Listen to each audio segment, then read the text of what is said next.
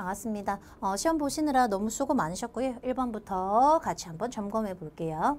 자, 1번을 보시면 최초의 합성 섬유라고 했을 때 나일론 툭 튀어나오셔야 됩니다. 석유를 원료로 합성 섬유를 개발했어. 자, 2번 보시면 탄소화합물 연소화학 반응식을 완성할 때는요.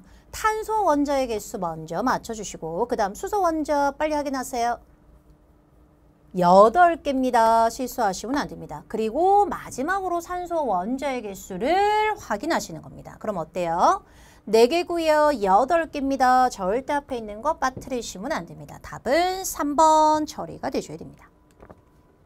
자, 3번을 보시면 자, 에탄올이 손소독제라고 했기 때문에 살균 작용을 하는 게 맞아 확인해 주시고요. 자, 대량 생산이 가능해 석유를 원료로 해서 만들어. 자, 석유를 원료로 해서 만듭니다. 에탄올이 C2H5OH라는 건 좀 알고 가셨으면 좋겠어요. 어쨌든 탄소 화합물이 화합물 안에서 우리가 같이 점검을 해줬습니다. 5번입니다.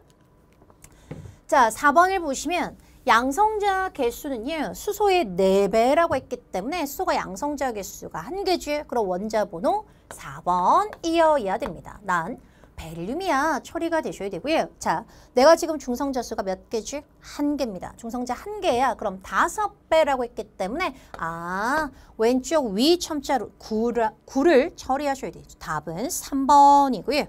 자, 그 다음 5번을 보시면 A2와 B2가 반응을 해서 기체 미안 기체 A2, B2가 반응해서 액체 X를 생성해 반응물만 생성물만 쓰시는 거고요. 자 그럼 A2 2몰이 없어졌습니다.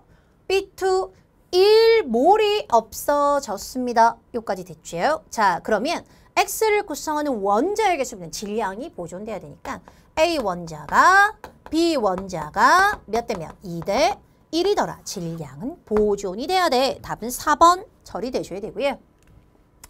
자, 6번 보시면 자, 오비탈의 모양 난 S 오비탈이야 확인되셨을 겁니다. PX 오비탈이야 확인되셨을 거고요.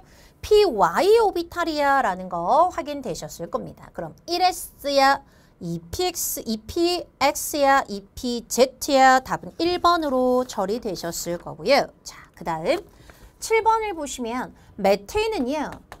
액화, 천연가스, LNG, 도시가스, 연료입니다. 기획은 맞아 확인해 주시고 자, 나 산성이야 확인할 수 있으셔야 됩니다. 가는요. 이거 해보나 마나. 탄소에 대한 수소 원자 수의 비율. 자, 탄소 결합발이 4개 주요 수소가 꽉 차 있습니다. 맞아. 비교할 필요조차 없어. 5번입니다.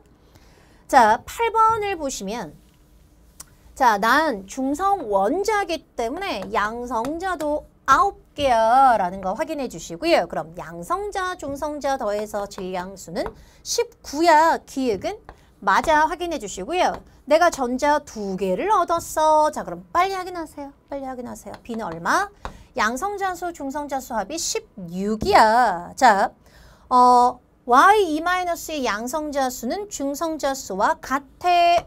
원자 번호는 양성자 수로 매겨지는 거니까 x가 크다라는 걸로 기억, 니은 4번 처리되셔야 되고요. 자, 9번을 보시면 분자 한 개의 질량이 몇 대 몇이죠?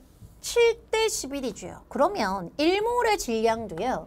7대 11이 되셔야 됩니다. 쓰지 마시고 그대로 한번 쭉 밀어보세요. A 빠지고요. B 하나 빠집니다. B 하나가 원자량이 4야. A 원자량은 3이야. 원자량의 비는 3대 4가 맞아. 확인할 수 있으셔야 되고요. 자, 잘 봐.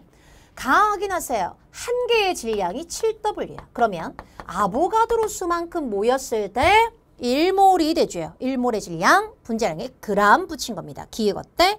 맞아. 확인할 수 있으셔야 됩니다. 자, 그 다음 1g에 들어있는 전체 원자수입니다. 자, 보세요. 원자수 떴다. 분자수의 정수입니다. 그런데 1g에 들어있는 전체 원자수니까 1g에 들어있는 전체 분자수는 11대 7이죠. 여기에 나 2원자 분자야, 나 3원자 분자야 처리가 되셔야 됩니다. 답은 5번 처리되셔야 되고요.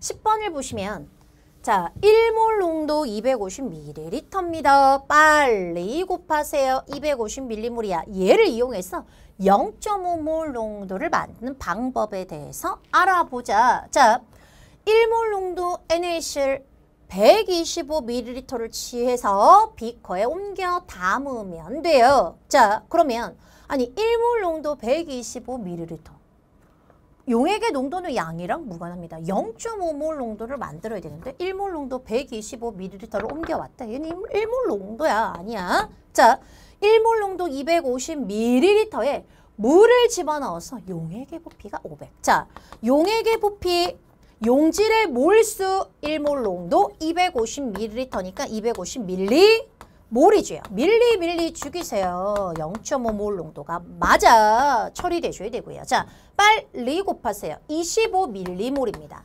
그런데 아 주의하셔야 될 게 25를 취했죠. 비커에 옮겨 담았죠. 거기에 전체 용액의 부피가 50이 아니라 여기 25에 물 50을 집어넣는데 물 50을 집어넣는데 그럼 부피는 약 75ml가 됩니다. 안 됩니다. 학생 B만 맞습니다. 2번입니다.